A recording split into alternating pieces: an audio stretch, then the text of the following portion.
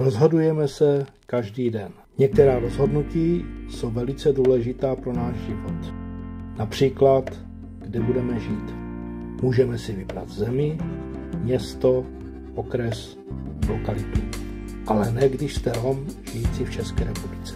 Pro Romy v České republice je těžké si koupit nebo pronajmout dům nebo byt v některé lokalitě. Jedinou možností pro romskou rodinu někdy zůstává jenom ghetto. Říká se jim také sociálně vyloučené lokality. V blízkosti sociálně vyloučených lokalit jsou také segregované školy, které navštěvují převážně romské děti.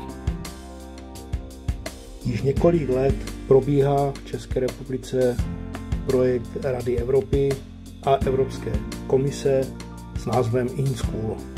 Pomocí projektu InSchool a indexu inkluze jsme vytvářeli plány inkluzivního rozvoje školy a pomocí indexu inkluze jsme vytvářeli inkluzivní prostředí na školách, které navštěvují Romové. V další části projektu jsme vyjednávali s politiky a snažili se zavést tyto dobré praxe do legislativy.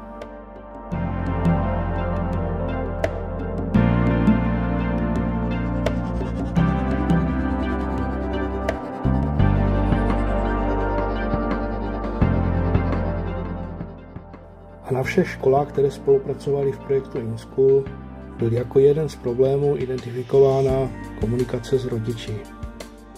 V této oblasti jsme se snažili spolupracovat se školami a zlepšit komunikaci se školou.